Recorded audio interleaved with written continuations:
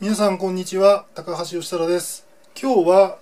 えー SDGs とは何かということについて説明します、えーどこかで、えー聞いたことはあるけれどもちょっとよくわからないなという方もいるかもしれません。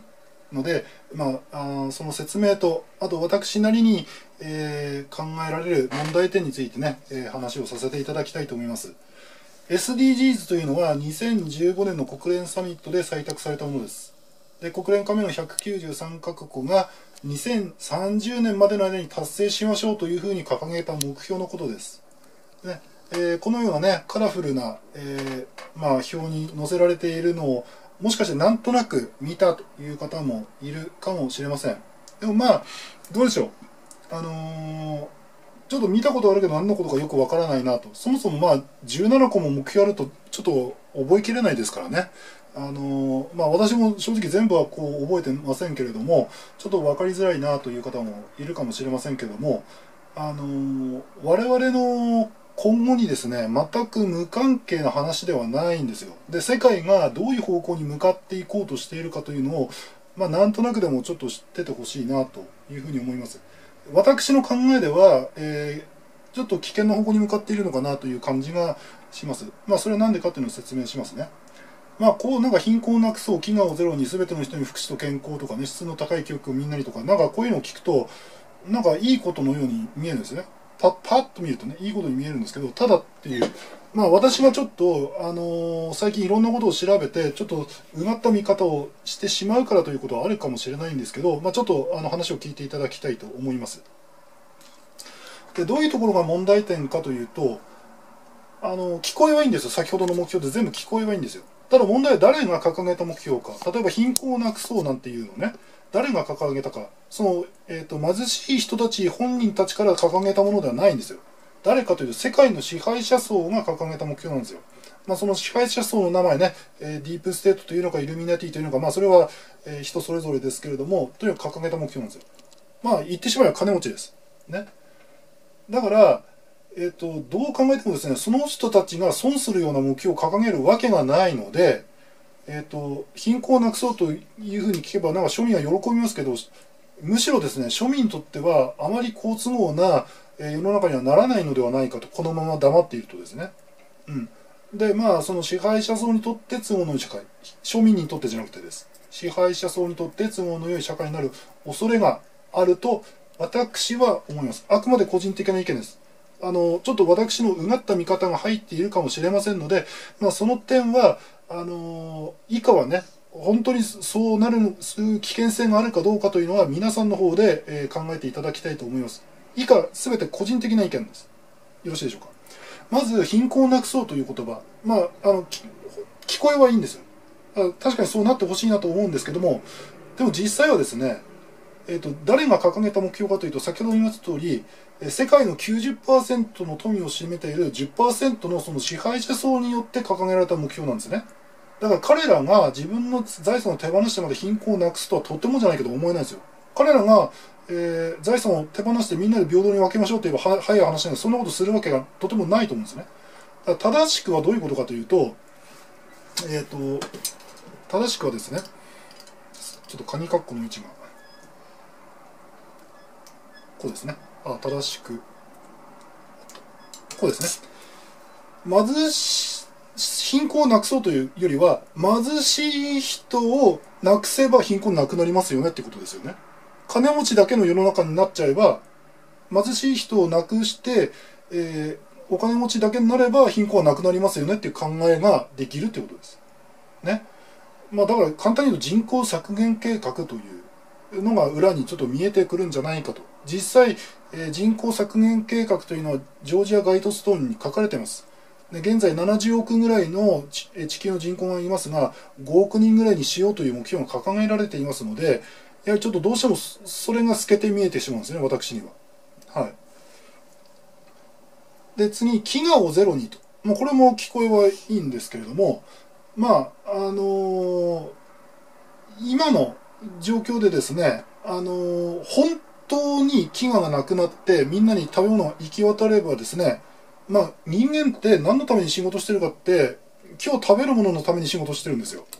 だから本当に、本当の意味で期限がゼロになったら、支配者層にとっては不都合なんですね。仕事する人がいなくなっちゃうか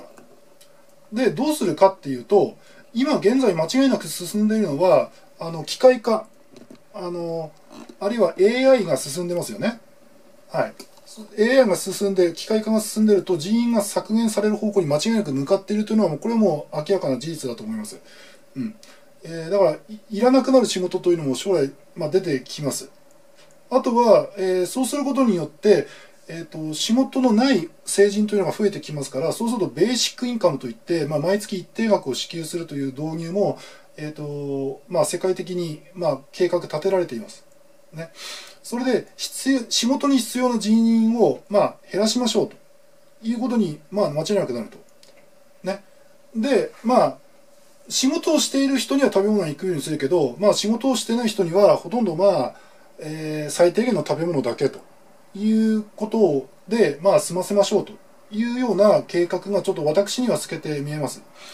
まあ、えー、この日本でもね、そういったちょっと計画が透けて見えるような、まあ、ムーンショット計画とか、そういうのが、えー、実際もう内閣府も立てられているので、ちょっとそれもつながってくるので、まあ、ちょっと、えー、鵜呑みにするとまずいかなという感じがします。はい。あの、以下ですね、ちょっと17個全部に対してツッコミは入れないんですけど、ちょっと何個か、えー、この調子でちょっとツッコミを入れさせていただきます。すべての人に健康と福祉をっていうとなんか聞こえはもちろんいいんですけども、言い換えれば今の状況で言うとすべての人に、まあ、ワクワクさんを打とうと。で、えー、ただのワクワクさんではないです。その中にマイクロチップというのが入っていますので、それで体調管理をしましょうというのはもう明らかに進んでいます。これは内閣府のホームページにもそういうの書かれています。ね。で、えー、そうすることに体調管理という名のもとに支配者層の監視社会を作ると。えー、まあ、今、キーワードいくつか挙げました。人口削減、あとは監視社会。これ間違いなくそういう、えー、支配者層が考えていることではあります。はい。あとは安全な水とトイレを世界中にとか、エネルギーをみんなに、そしてクリーンにと。まあ、これはもう聞こえはいいんですけど、言い換えると、まあ、一括管理したいということですよね。水道利権とか電気の利権をグローバル企業に一括管理させて、支配者層がコントロールしやすい社会を作ると。まあ、今、実際、実際にこう、あのー、GAFA とかありますよね。そういう、えグローバル企業がもう支配しつつある世の中になってますよね。で、そういう、えー、国ごとの、えー、国ごとの、えー統一体じゃなくてもう世界で統一したものでコントロールしたいというふうに支配者層は思ってるんですねそれをニューワールドオーダー NWO というふうに言うんですけどもあの、まあ、それが私にはこう透けて見えてくるということで非常にこう、えー、そのまま鵜呑みにするとちょっと危険だなという感じがします。はい、であとは人や国の不平等をなくそうと、まあ、これも言ってることその通りだなと思うんですけどもえー、言い換えると大量移民の合法化とかもうこれ OK というふうに受け取らざるを得ないようなこう文言に私には見えます。でこういうのを合法化してしまうとやはり混沌とした社会にこう向かっていくんではないかなというふうに思って、まあ、実際支配者層の人たちはその混沌とした社会にしようと、まあ、しているわけですね。まあほとんど、まあ、もてあそんで我々をもてあそんでるような感じですけれどもちょっと危険だなというふうに思います。はい。そしてですね、あの、まあちょっと突っ込むポイントとしては最後という形にさせていただきますけど、ジェンダー平等を実現しようと。これ自体は聞くと、あいいじゃないかと。そうだよね、というふうに思われる方いると思うんですね。で、えっ、ー、と、これ私個人の意見ですけど、えっ、ー、と、ある特定の方が、えっ、と、LBGT であると。レズビアン、ゲイ、バイセクシャル、トランスジェンダーであると。ね、あちなみにトランスジェンダーというのは、えーと、性の人員と身体的な性の不一致であると例えば男の人の体の特徴なのに自分では女性の心であるっていう人ですねそれをトランスジェンダーと言いますけども、まあ、でそれらいろいろな、えー、まあ、性的な何かを持っている方 LBGT と言うんですけどもでその方の存在を認めないというつもりは私にはありません別にあのそういう方が世の中いらっしゃるのは構わないと思ってます。はい。で、えー、っとですね、で、問題なのは、なん、普通のあの性性を持ってる人、ね、普通の男性普通の女性と言ったらいいんですかちょっとあのちょっともしこの聞いてる方の中で LBGT の方いたら申し訳ないんですけどもあの LBGT ではなくてよくある一般的な男性女性というふうにさせていただきますけどそういう人が無理やりですね LBGT にさせようとしてるかのような危険性を私は感じます。そんなことないじゃないかってちょっと思うかもしれませんけれども今例えばテレビなどではあのなんとなく刷り込みでこう LBGT の世界に引き込もうとしている、えー、嫌いは私にはあるように思います。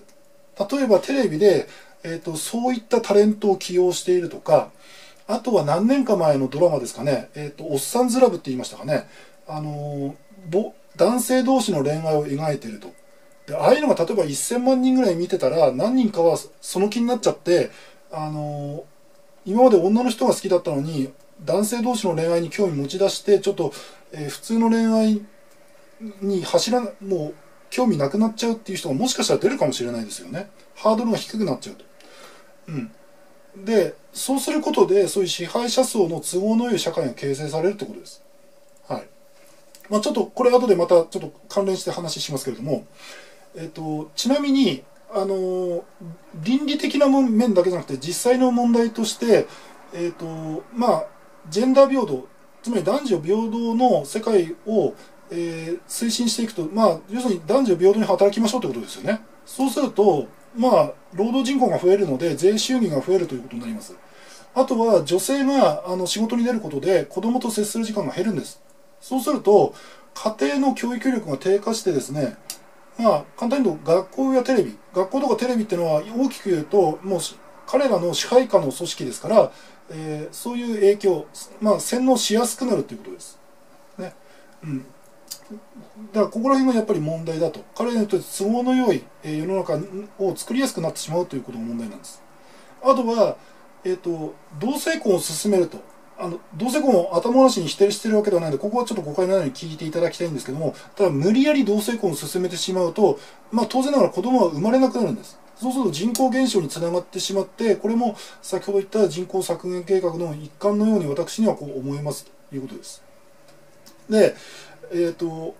その LBGT の存在は決して私は否定しませんけれどもえっ、ー、と彼ら支配者層の多くは悪魔崇拝者であります。で悪魔崇拝者っていうのは反キリストです。でキリスト教というのは同性愛というのは宗教上の罪とされてきました。あただあの、えー、調べると別にキリスト教は私と同じような主張であって LBGT の人の存在を認めないということは言ってはいません。ただあの進んで同性愛というのはあの進めてないという状況です、うん、でそれを無理やりこう反しようとしているのが悪魔崇拝の方々であるということです。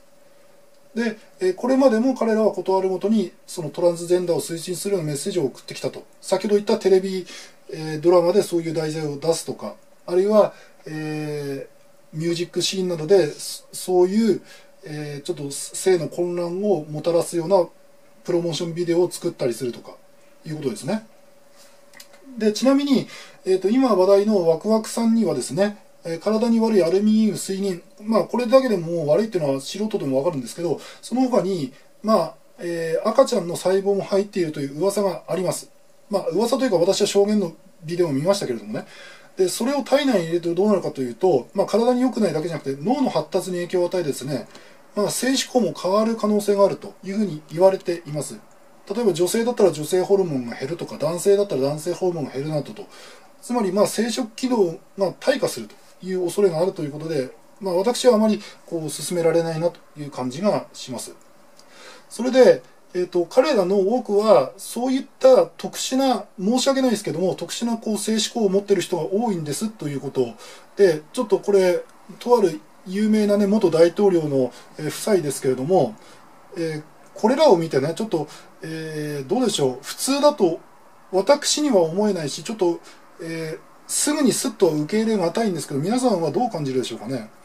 まああのこれはもともと若い頃ですけども、まあ、ちょっと、えー、若干こう、まあ、こちらはあその人の若い頃だなというふうに感じますけどこちらはちょっと女性なのか男性なのかうんどっちだろうっていう感じのちょっと佇まいになってます。でえっ、と大人になってそのこちらの夫人と言われてる方ですけどもこれあの別に作っ多分作った画像ではないと思うんですけども結構世に出回ってるものですけど例えばこういうスカートを履いてて完全にもっこりしてるとかですね。完全にまあこれ男性だったら分かるけど完全にポジションを直してるとかですね。あとちょっとこれはちょっと個人的にはびっくりえー、ってびっくりしたんですけどこう分かりますかね。ドレスから透けて見えるなんかこれ本物だとしたら逆になんかこっちがすいませんって言いたくなるくらいこう立派なものであるとかねちょっとどうなんだろうとちょっと疑惑を持たざるを得ないとねいうような感じです。だからまああのー、まあこういう疑惑がね当然男と男の間ではあの家族生まれませんからまあちょっと本当の子なのかなっていう疑惑がこう出ていると。まあ、あとそもそも元大統領本当は当たり前ですけどアメリカの大統領というのはアメリカ人でなければいけないんですけれどもそれすらもちょっと疑惑に持たれているっていうのはちょっとまあこれ別の話題になってしまうんですけどもちょっと疑問であると。でその元大統領自身がまああこういうのを見るとねどうでしょういくら外国人同士といってもちょっと、えー、普通のこう思考回路ではちょっとしにくい行動かなとこれもスキンシップの域をちょっと超えてるんじゃないかなという感じがしてちょっとまあ特殊なあの性思考と言わざるを得ないかなと。で本当にあのちょっと我々がイメージするジェンダー平等というのはちょっとかけ離れてるとこういう人たちがその推し進めているんですよというのをちょっと気づいていただきたいんですね。だから別に LBGT の存在を否定はしませんけどその別に無理やりジェンダー平等を実現しようとそこまで声高に言わなくてもあのみんな仲良く暮らしてると思うんですよ LBGT の方々とも我々は仲良く今今の状況でも仲良く暮らしてると思うんですけどなんか無理やり混乱の世の中をなんか引き起こそうとしているのに対して私はちょっと疑問を感じますそれでちょっとまあこれなんか作った画像じゃないかっていうふうに思われると思うんですね。じゃなくて、そういう疑惑はもともと持たれてるんですよという、えちょっと、えー、人様の YouTube ですけど、ちょっと見ていただきたいと思います。で、ちなみに、この奥様、ミシェルさんって多分言ってるっていうのを、あの、皆さん聞いたことあると思うんですけど、まあ、実は、あの、マイクと言われてたという疑惑があるという VTR ですね。ちょっと1、2分程度ですので、ちょっと見ていただきたいと思います。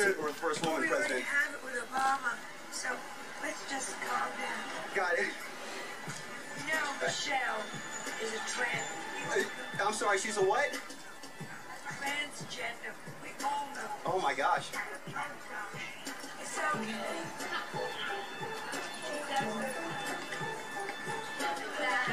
まあちょっと疑惑の死を遂げたということですね。でこれはあの大統領のスピーチですけどこの中で奥さんの名前を間違うという、えー、ところがありますマイケルというところですね Michael and I also want to, Michael and I, Michael and I, でこれも思わず奥さんの本名を口走ってしまうという。When my mind, when uh, Michelle's mad, uh, I get worried. when my mind, when uh, Michelle's mad, uh, when my mind, when uh, Michelle's mad, uh, when my mind, when uh, Michelle's mad.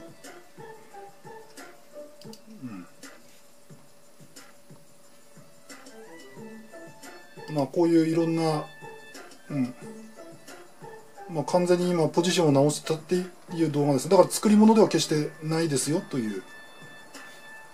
動画になります。はい。まああとあのこういうのを調べればあのもちろん出てきますのであのあとは各自各自で見ていただきたいんですけど、うん、ちょっと私としては問題があるんじゃないかなとまあ、公にしていただければ別に構わないことだとは思うんですけれども、ちょっとも、えー、素直にはちょっと受け取りがたい問題だなというふうには感じます。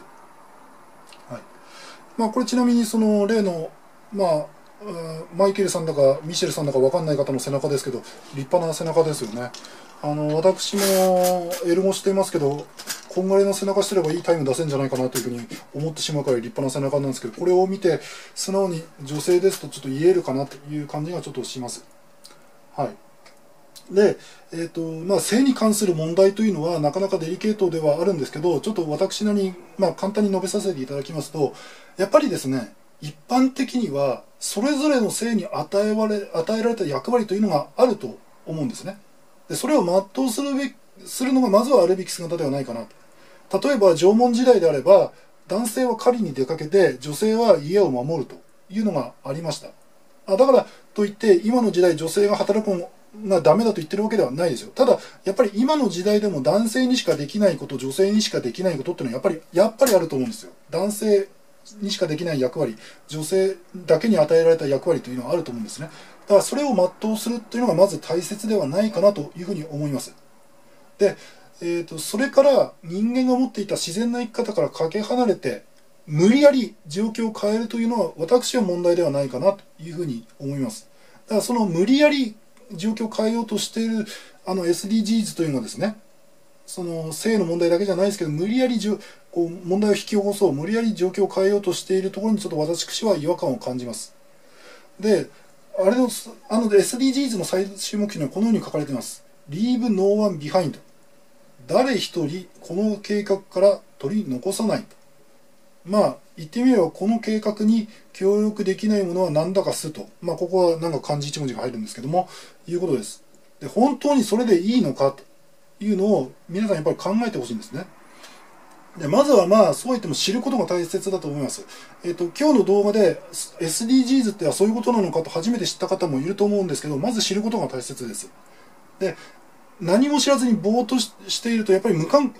我々にとって無関係の話ではないですから彼らの都合の良い社会になるだけです。ね、でやはりこう最近私が思っていることは世の中の3%の人が変われば世界が動くというふうに思っています。ね、で、えーとまあ、なかなか今、あのー、生きづらい世の中にはなっていますけれどもでもねこの狂った世の中を我々民主庶民が改善していってですねで私自身としては残りの人生ですねその幸せな世の中づくりに貢献していきたいなというふうに思います。まああの本当にあの微力ではあるかもしれませんけどでも動き続けたいというふうに思います。それでみんなが幸せだと思える世の中にね、えー、みんなでしていくべきではないかなというふうに思います。まああの